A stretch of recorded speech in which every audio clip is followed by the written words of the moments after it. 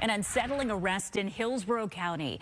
A now former teacher lands behind bars accused of punching a nine-year-old student with autism.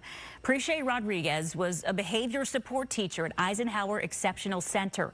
He's also a former football player at Auburn University. Fox 13's Kylie Jones is following this story live from district headquarters. Kylie, bring us up to speed. Yeah, Haley, well, deputies tell us that student has autism and is nonverbal, and they say this incident happened while at school. One mom turned advocate for children with special needs says this is the exact type of incident that she fears every day when she sends her own son to school. A Hillsborough County teacher is out of the classroom accused of punching a nonverbal student with autism in the face.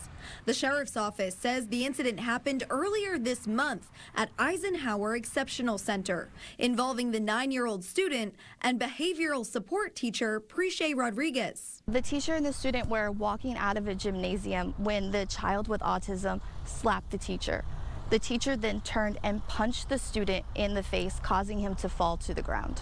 As the parent of a child with autism, Brittany Collins says this is something she worries about every single day. It scares me because I'm basically giving my child over to people that I'm supposed to trust and trust that they are properly trained, that they have the patience to keep him safe. Collins' eight year old son Amari is also nonverbal. She says this is where behavioral therapy and other de escalation tools are crucial. They sometimes don't know how to express what they're feeling.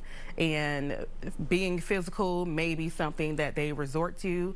Um, it is definitely um, a common um, behavior with kids with autism, especially that are nonverbal. Collins also advocates for staffing classrooms with enough teachers and aides who are also trained specifically to work with children with different levels of special needs.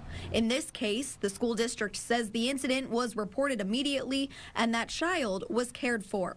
In a statement, Hillsborough County Public Schools said, quote, Mr. Rodriguez was removed from the school while the investigation was going on and has now been terminated from the district. We are deeply disturbed by the charges. The safety and well-being of our students is our top priority.